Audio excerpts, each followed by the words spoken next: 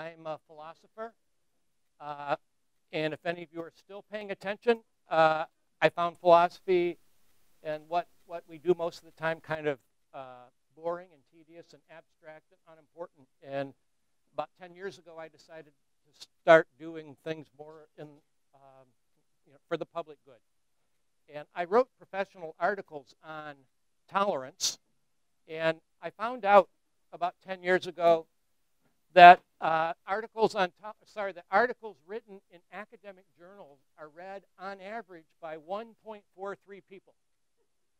Uh, and I wrote 10 of these, so maybe 14.3 or 30 or whatever, uh, 17 or however that works out.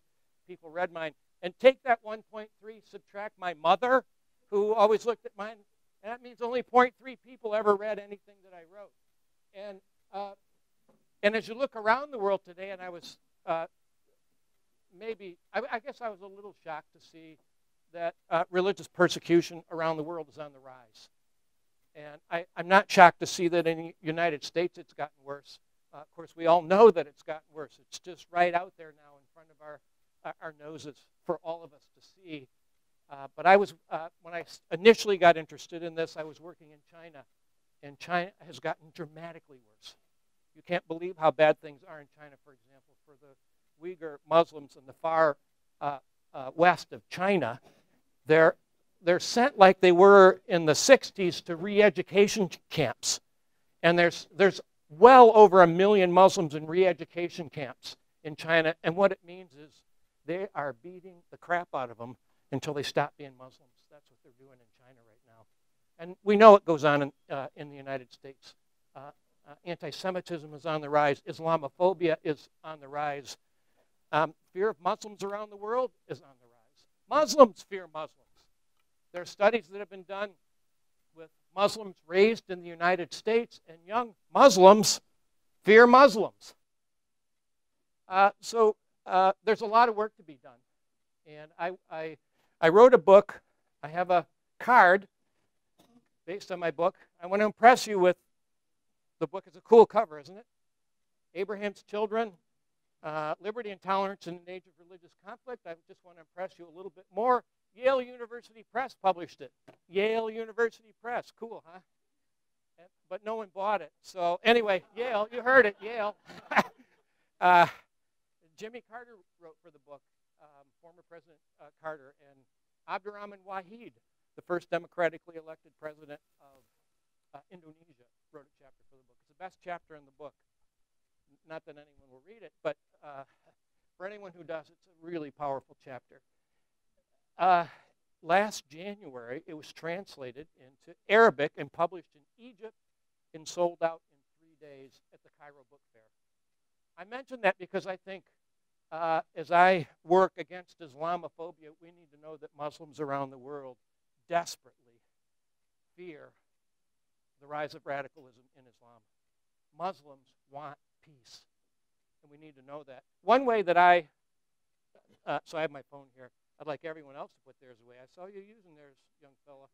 Um, I take selfies wherever I go in Muslim majority countries. I have large Muslim audiences. They tend to look different from me. Uh, and I post on Facebook. I have a web page based on Abraham's Children, 20,000 followers.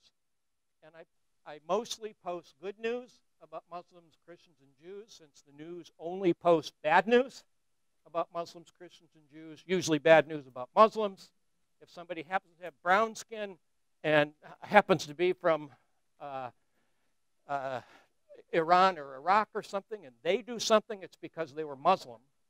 If they're American and they're white and they do something, it's because they're crazy. Uh, it's always because somebody, uh, uh, sorry, it's, uh, if a Muslim does something bad, it's always because they're a Muslim. If a white person does something that's bad, it's always because they're crazy. Um, so I try to post good news. We want to over. We need to overcome. I, I don't even know how to do it. The torrent, the torrent of bad news about Muslims is uh, awful. And I say it's a torrent of bad news. 99.9% of Muslims around the world want peace, but the only thing that gets reported is the bad news. I can tell you a story about that. I think there's a reason why we only hear bad news Um, and there's a reason why only bad news, news is reported. Um, anyway, I do one small part to try to overcome people's views. I write, I write blogs against Islamophobia. Uh, I ask, I give these talks that I'm going to give now. I give these talks everywhere I go in the Middle East. Uh, and uh, I gave one in Turkey last March, and 250 people came to hear me talk about peace and compassion. Muslims want peace. Uh, if you take nothing else from that, take this. But I take selfies of my audience to let people see that not all Muslims are terrorists. So if you don't mind, could everyone sort of stand up quickly? Let's take a quick selfie here. You're all going to be on Facebook, by the way. Here we go. One, two, three. Is there, can you get in over there? There we go. And I definitely want pictures with you two because you are the best. Can we get a selfie here really quickly? Can I ask the royal father and mother to stand up a second? Okay, someone can snap us. Can you give us? You, can you take our photograph?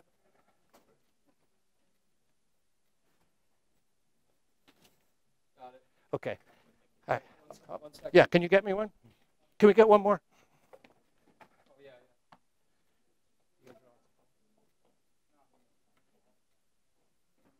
Thank you. I, I, I live in Grand Rapids, Michigan, which I'm pretty sure means nothing to almost nobody in this audience.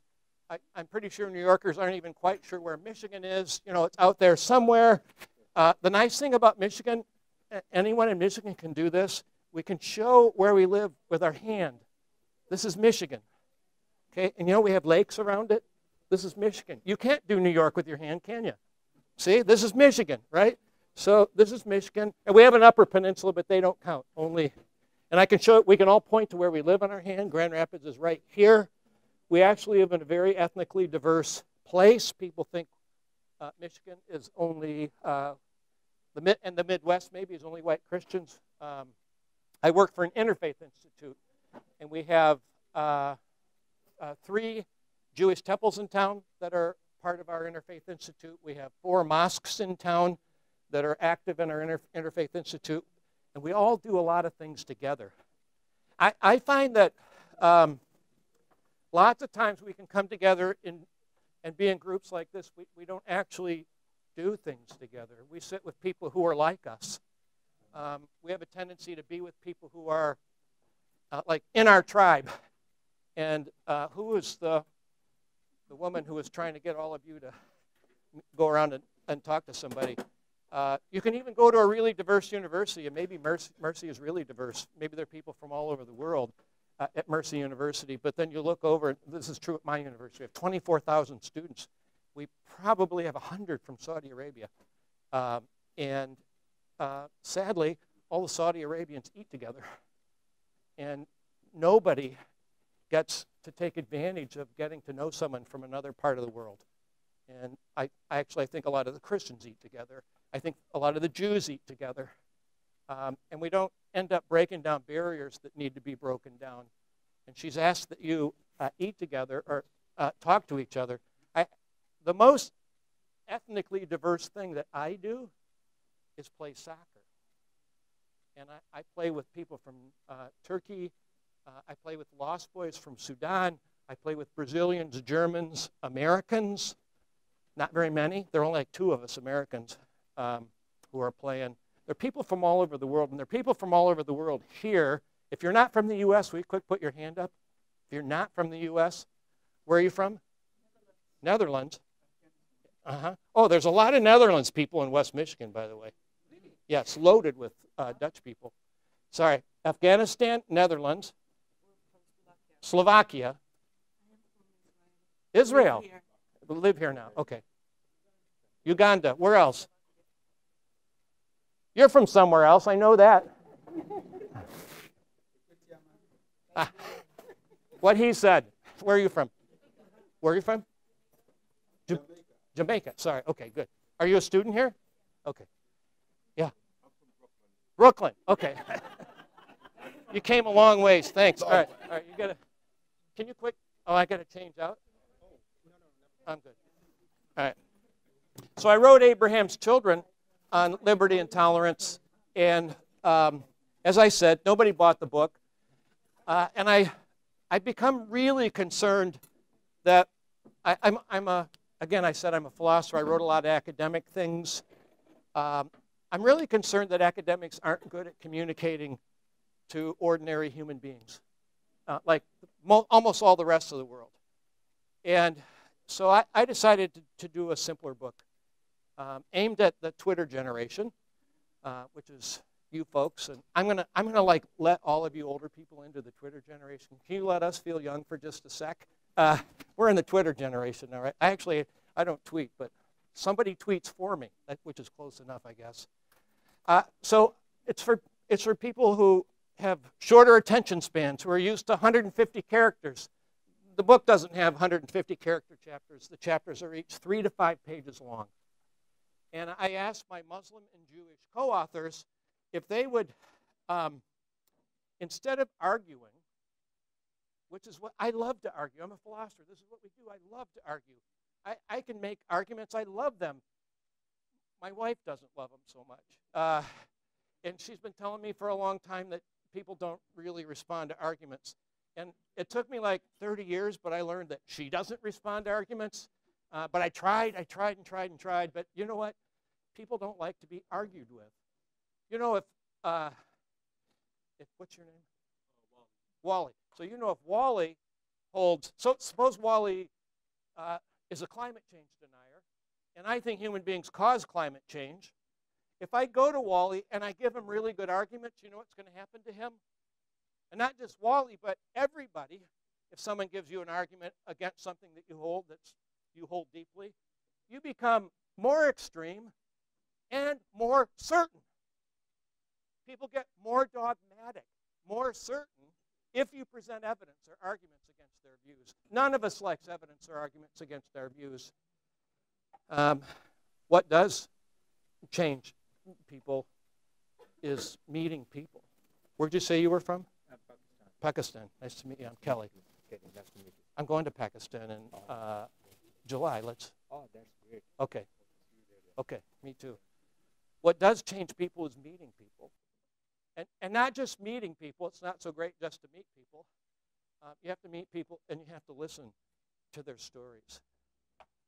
Um, and so I, I ask people to write stories, my co-authors to write stories. Um, they have to make a point. The stories all make a point. Every chapter makes a point. Uh, it makes a theological point.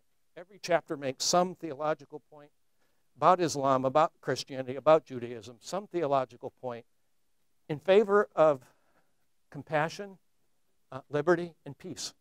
Every chapter has to make a point, but you can't argue for it. Um, and I got two really cool co authors. So I became cool by reflection. And my Muslim co author is the coolest. And some of you may know, maybe you know this. Mike, uh, Aziz Abu Sarah is his name.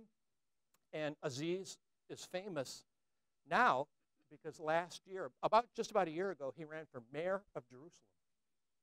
And he's famous because Aziz is Palestinian, and um, Palestinians can't become mayor. Um, they're not allowed. It's not part of the Constitution. And Aziz's goal wasn't really to become mayor. Aziz's goal was to improve human rights for Palestinians in Israel and to call attention to that. Um, and just to let you know how um, how social issues are fraught with peril in Israel. Aziz re received threats from both sides, Israelis and Palestinians. Um, nobody liked what he did. And he ended up having to drop out. He almost had a nervous break, breakdown, I think, uh, after running for mayor. Aziz has won two or three peace prizes. Uh, he's a National Geographic explorer which means, uh, you know, James Cameron, the director of the Titanic, he's a National Geographic explorer. So Aziz gets to go to National Geographic explorer meetings hang out with James Cameron and all these other cool people who win this award. Aziz is a cool guy.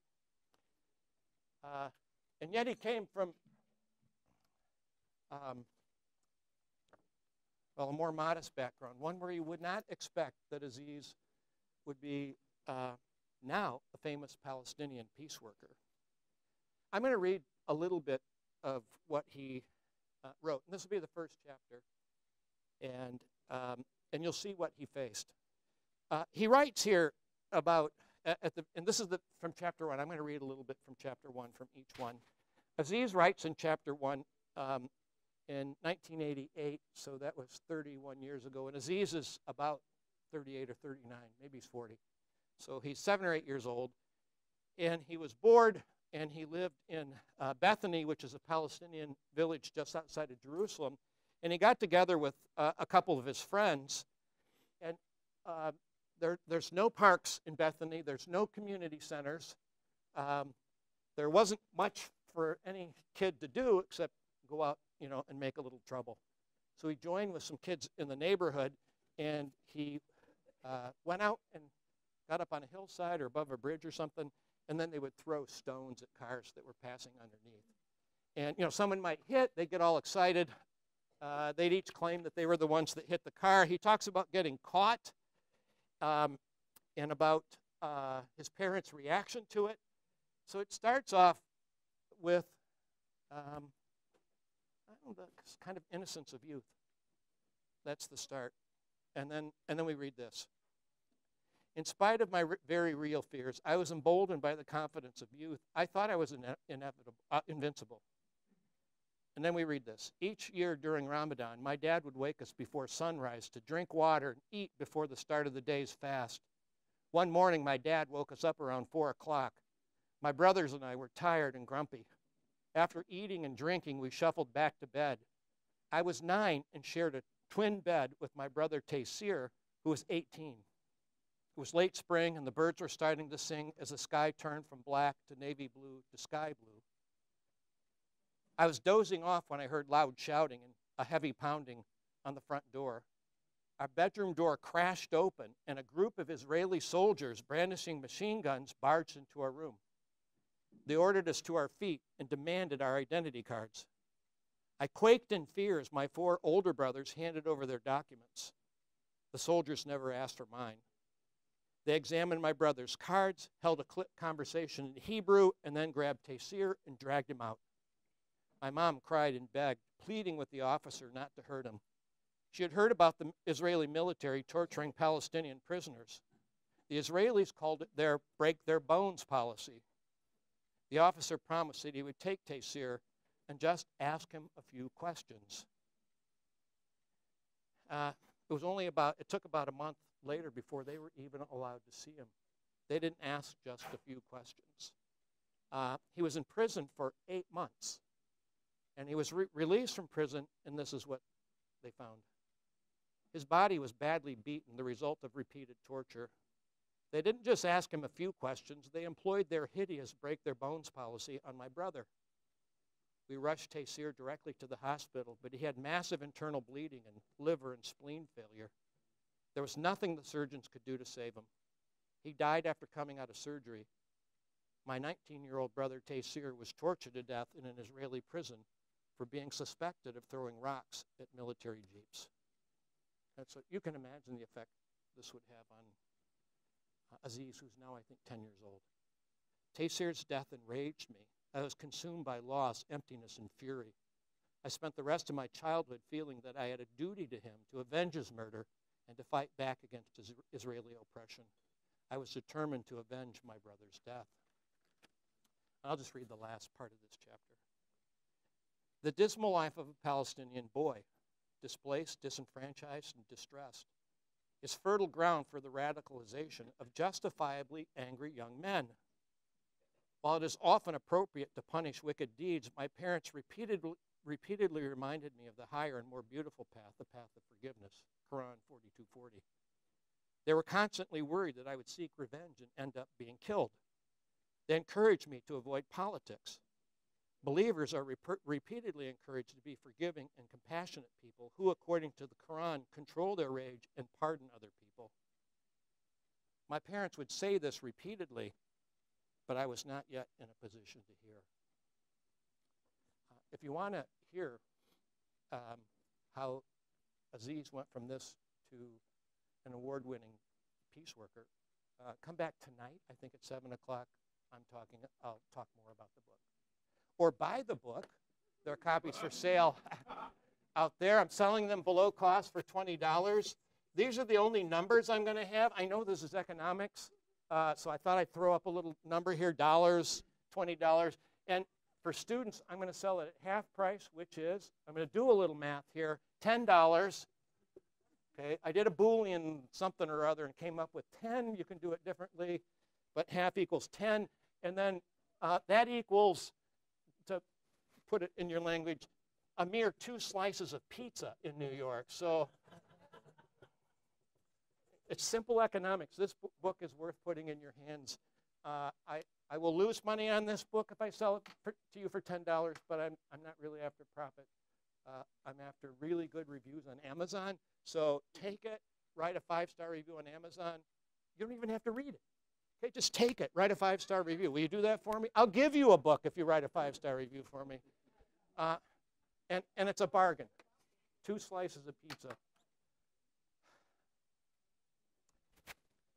How are we doing for time? Where's my. Are you, did you take my phone?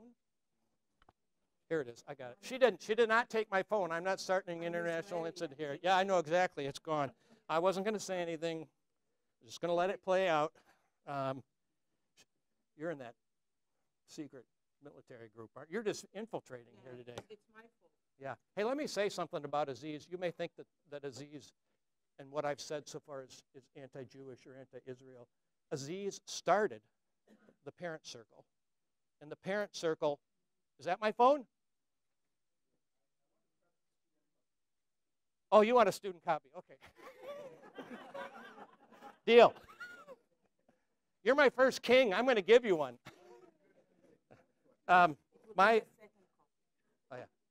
Uh, my uh, Aziz started the parent circle, which uh, involves Pal- Palestinians and Israelis who have had relatives killed in the conflict.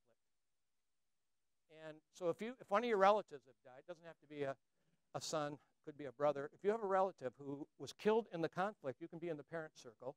And you don't have to be a parent. Aziz is not a parent, wasn't a parent, and it was his brother. And they, Palestinians and Israelis, they work together in teams and they go mainly to high schools talking to um, young people about how they can, how Israelis and Jews can live together in Israel in peace. So I, nothing that's written here. This is just what happened. These are the people who did it. This was the effect on him. Uh, uh, Aziz also runs uh, a very famous tour company in Israel, uh, and the tour company he owns with a Jew, and uh, it was featured in Smithsonian Magazine just this August. It's the cover article in Smithsonian Magazine just this August. You can read it online. It's Aziz's tour company that a Palestinian and Jew own together, and they take people all over Israel, and you hear uh, a, a multi-narrative. You, you, can, you can meet with the most radical, you could meet Benjamin Netanyahu on one of his tours uh, and talk to him. You can meet the president of Palestine on one of his tours. You can meet artists. You can meet um, settlers. You can meet refugees. Um, you will meet lots of people, and you'll, you'll hear lots of different narratives. And the thing that happens is the thing that happens here with my friend from Pakistan. You meet people and you hear their stories, and it transforms people's lives. Uh, cover article, Smithsonian Magazine, August of this year, is Aziz's tour company. Um, oh, I meant to, so I asked 153. Okay. I want to leave a little time for questions. My Jewish co author, uh, Nancy Fuchs Kreimer, uh, is, she actually retires this year. She was in New York yesterday, uh, and I said, Can you just stay one more day and do this uh, book tour with me? And she's retiring in January, and she didn't want to miss any classes this semester. She teaches in Philadelphia at a, uh, what do you call it? Is it a seminary if it's Jewish? Not, i could look it up. Anyway, something like that. Um, she's a rabbi, a Reconstructionist rabbi who teaches in a seminary uh, in Philadelphia, but she didn't want to miss her class today, so she didn't stay for this. So uh, we were this close to seeing uh, Nancy, and she's wonderful. She comes to New York quite a bit. She works in a group, I think it's called Sisters of Sarah or something like that. And I'll tell you why it's Sisters of Sarah uh, in her story here. So she writes this.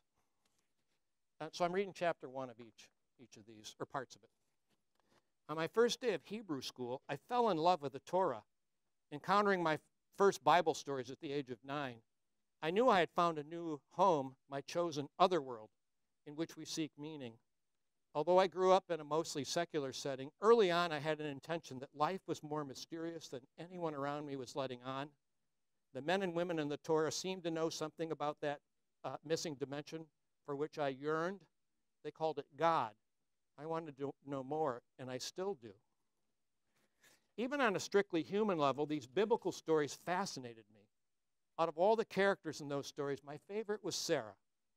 Here was a life, a devoted wife who followed her husband, Abraham, into the unknown, devised a plan for him to have a child through her servant Hagar, and once becoming a mother herself, ensured a legacy for her son Isaac.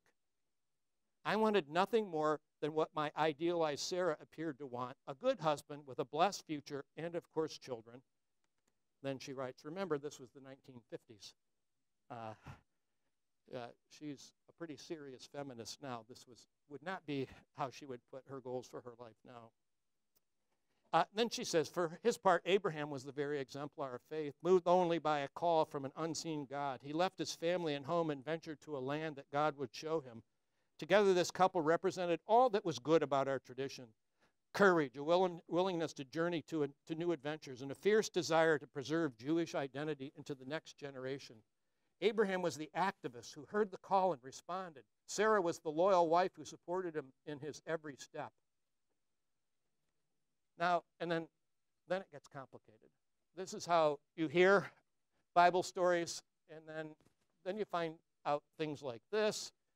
Um, a couple examples. Abraham, when he went down to Egypt, I think it was, lied twice about Sarah, saying Sarah was his sister. And um, he did that to protect his butt. He was afraid that if he took his attractive wife Sarah down into Egypt and the king, who evidently had the hots for Sarah, uh, and the king desired her, uh, then the king might want to have his way with her. And if it was his wife, he might feel bad about doing it maybe he'd have to kill Abraham first uh, to do it. Uh, so he says, Oh, it's my sister, no worries. Now, the text doesn't say this, but I think you're supposed to read this in the silence that the king had his way with Sarah. And I think you're also supposed to read this. Maybe that's why Sarah was barren. Uh, when God says uh, that Abraham's going to be the father of, of a multitude, and um, and it's going to spread out to all the nations. And Abraham's concerned, you know, my wife is barren, maybe maybe Sarah, and this is I think you're supposed to read this if you if you if you uh, pay attention to the story. I think you're supposed to think maybe God did that for Sarah's own good, and maybe Abraham's own good. Uh, that Sarah was barren, but Abraham let a king sleep with his wife, lied, and let a king sleep with his wife not once but twice to save his own butt. And then when he says he's going to be the father of a multitude, of course, he runs right out and has sex with his maidservant, Hagar. And uh, Hagar, of course, is important because Hagar becomes the sort of iconic figure for, um, uh, for Muslims, and Sarah is the iconic figure for Jews. And Hagar is the one that Abraham kicks out. They both trace their, their they tell different stories about uh, Hagar. Um, so there are different traditions that tell different stories about Hagar, but they're important in different ways. But in the Hebrew Bible, in the Torah, the one that she loved, and if you heard the first three paragraphs that I just read, you would think these are great stories. Anyone should follow them. But they're really deeply complicated stories with uh, injustice and lack of faith in them. And, and she slowly learns that. And, and anyone who works in interfaith is going to say this sometime. And after 9 11, her world changed. She did interfaith. When she did interfaith before 9 11, you'd have a Protestant, a Catholic, and a Jew. That was interfaith before 9 11. Protestant, Catholic, Jew. After 9 11, the Christians and, and the Protestants and Catholics had to fight it out. They only got one seat at the table because it was going to be Christian, Muslim, Jew after 9 11. Anyone who works in 9 11 knows, at least in the U.S., the interfaith landscape dramatically changed after 9 11. And um, uh, sadly, um, uh, anti Semitism got a little off the plate. And you can see what happens when we don't pay attention to it, when we forget what happens. Anti Semitism is on the rise in the United States. Um, I think we maybe last week celebrated, celebrated, remembered the uh, killings in uh, Pittsburgh at the synagogue uh, about a year ago. Um, most synagogues in the U.S. now, definitely in big cities, but I found out in Grand Rapids, Michigan too, have to have security, really heavy security. Because if you're going to go to worship in a synagogue in the U.S., you have to understand somebody might want to come in and shoot you. Um, Grand Rapids was in the newspaper maybe three weeks ago because somebody put up Nazi propaganda posters on the synagogue. And they glued him with like super glue or something, and they couldn't get him off in time for, for the uh, Saturday school. Uh, and so they had to put posters, bigger posters over them to hide them from the kids coming in to, to the school. Uh, so we took our eye off that, anti-Semitism has reared its ugly head again. Um, and there's been a lot of focus on Islamophobia. And Nancy has taken it uh, as a Jew to befriend her Hagars. And Hagar, the story is complicated because um, she if I remember the story right, she uh, recommends that Abraham have sex with Hagar. Then she gets pregnant later. And here's the key point they kick Hagar out into the wilderness. And, and that's not as cool as it sounds. Uh, if you were a single mother with a child living in those times, didn't have a man to care for you, in those times, didn't have a home, didn't have a farm, didn't have food, you were just set out to wander, I'd say your life expectancy was really low. And um, so Hagar gets kicked out. That, that's the ugliness of this story. And so she writes in the end, I'll just read what she writes in the end. Uh, as she's come to embrace Hagar's, uh, Muslims, whom, who she didn't know. By the way, I didn't know a Muslim before 9 11. I didn't knowingly know a Muslim before 9 11. Now some of my best friends are Muslims. I mean, the world has changed after 9 11. Um, um, there's a poet, Mohja Kahf. She calls it an extended midrash on the dysfunctional family that we share, and she means we um, Jews and Muslims. We share a dysfunctional family. We, we all like to trace ourselves back to Abraham. We're all Abraham's children, Muslim, Christian, and Jew. Well, trace yourself back. You're going to find some ugliness in that story. Um, and um, Mohja, in a poem, constructs uh, a future family reunion out of the blue infinitude that redeems Sarah, Hagar, and even Abraham. And together, this is what he writes they dismantle the house of fear brick by back-breaking brick. Um, Sarah, and what so what happens in the poem? Sarah's 12 grandchildren pick up, uh, sorry, Hagar's 12 grandchildren pick up Sarah's 12 grandchildren, and then they have a reunion and this is the poem Sorrows furrow every face. This in the firelight no one denies. No one tries to brush it all away or rushes into glib forgiveness. A Hamas sniper, a Mossad assassin fall to their knees, rocking. Each one cries. I was only defending my, my into the arms of each. Uh, Hajar and Sarah place a wailing orphaned infant Slow moaning fills the air. Atone, atone. And the wailing goes on for ages. And then the family drama sort of plays itself out. And then there's a, a time now for new stories. Sarah laughs again more deeply. Abraham is radiant. Everyone this time around can recognize in the eyes of every other the flickering light of the divine. And then Nancy writes, May it be so. What do you say after that? we need to come together. We need to construct new stories. Um, but they're only stories that we'll construct when we come together. We overcome our fears and come together in compassion and peace. Um, so it's after two. I think I'll stop here. I don't have much more time and see if anyone has any questions or comments.